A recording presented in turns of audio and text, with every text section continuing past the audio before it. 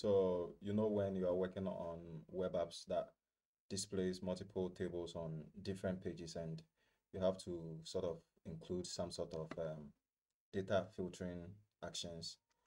In this video, we will build a date range component that allows us to easily filter data on different pages.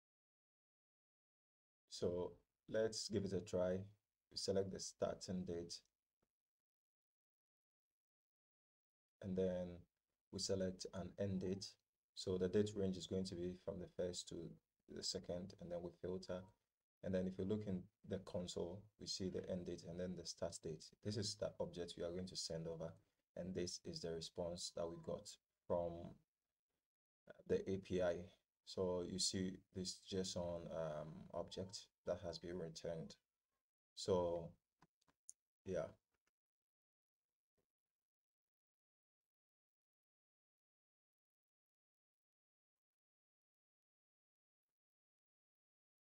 Now let's look in the code and see what we are doing. So I have an action folder in components and the filter by date component in there. And then we have a prop uh, as module name.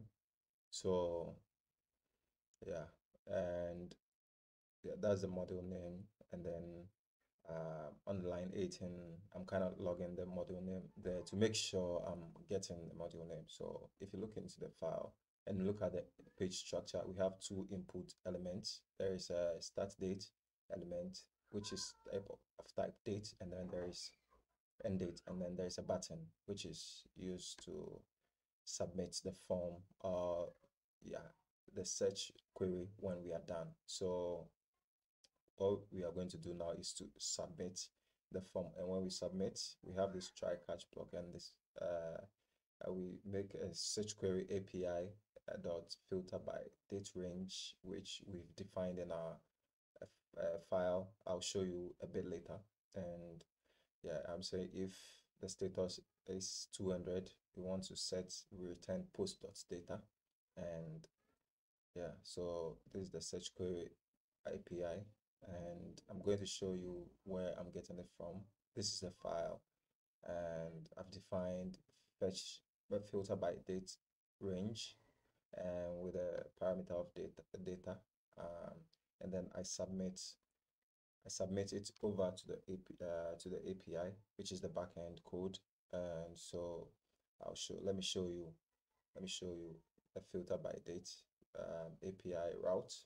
This is it, and in there I have an asynchronous function, and I'm doing some imports, which is there's I'm going to show you the constants, the modules uh, from constants, and I'm using it across, since it's a Next.js application, uh, the, both the front end and the back end are like in the same file, uh, same kind of parent directory, which is the app. So uh, what I'm doing is getting the table and the module name, and then I'm running this query as select from the table name where dates, uh, the date, I have it the column name has created at between the range, uh, the date range, and then I'm getting the result and I'm getting the result and then I'm sending it over to the client side.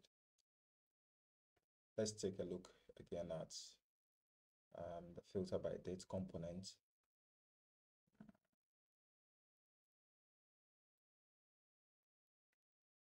So this kind of the structure again, and yeah the name is filter by date and then the modules then we come to our table. This is where we are kind of uh, going to display the results that we run we get from the filter by date components uh, by getting the results from the API so uh, we have to display you have to do something with the data that you get back. So and that's that's the whole point. So yeah. And this filter by date component is like reusable. So I have, if you look at the uh, on your left side of my file structure, you see lots of folders and lots of components. So there are also lots of pages that are going to require this filter by date component. And then I'll just include them. And that's the whole point of using React uh, or Next.js. So I'll just import the component and then I will use them in the folders as I require them. So now let's look at the database as well. So I have this uh, database that I'm using for the project, and this is just a, a chunk, this is just a bit of um, the project. And if you look into the man hours uh, table, we have some columns there. There's ID, number of staff, number of uh, month, of days in the month that the uh, employee or the man, the person worked, and there is number of hours worked daily by the person, and then there's a total and created by column, which uh, yeah, which we have the uh, resp- uh, respective respective um, data types assigned to them. So yeah.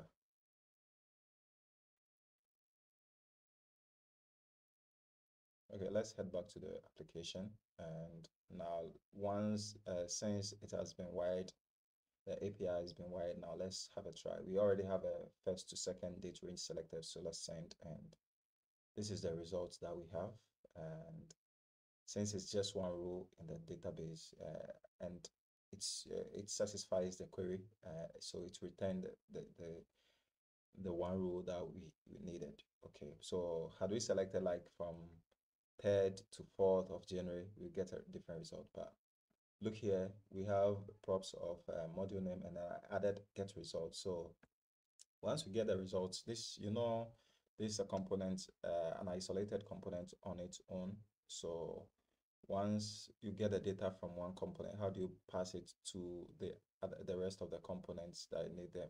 So we are not using a state management uh, library like Redux or anything. So this is how we do we get the results from here and then we set it we set it to uh, we get it from this filter by date component and then we send it over here to the component that we are reusing in there. And then we in this case we are just logging it but in real use case we are just going to update the state here and then we display on the table on this page. All right thank you for watching and please subscribe if you haven't. Uh, it really helps the channel and as you see the, the subscribers on this channel is really really small. So help help this channel by growing it and then subscribing. Thank you